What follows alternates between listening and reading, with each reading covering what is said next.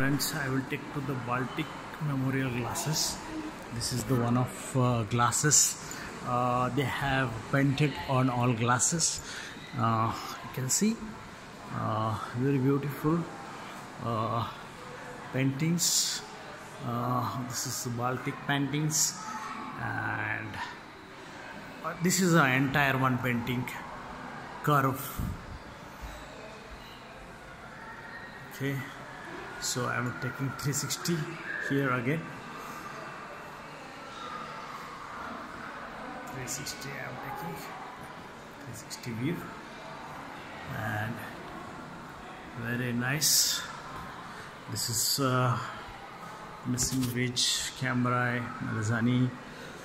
Uh, their victory they are written in 1992. Terrorist bomb exploded outside Baltic Exchange, killing three peoples to 40 panels. Yeah, this is the history one of. So thank you very much. Have a nice time. Thank you.